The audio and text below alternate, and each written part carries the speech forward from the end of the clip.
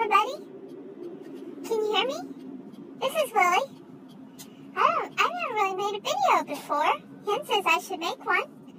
Uh, hi. And tell about, yeah, my water flipping. Because I've been flipping water. And I like to put my paw in the pan and I just push down on it and flip it up, dump the water on me, and pick the pan up and carry it around. That's what I do. Hen says, what a mesky.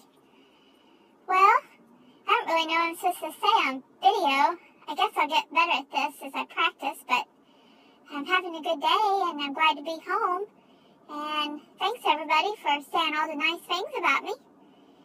So I'm hanging out with Wanny today. We're talking about fashion and getting ready for the fashion show this next this month. Yeah, it's this month. This is July already. Yeah, that's right. It's this month. Boys are just being boys and, you know, doing what they do. So, okay, well, that's all I know to say right now. I, I gotta practice this some more. Bye!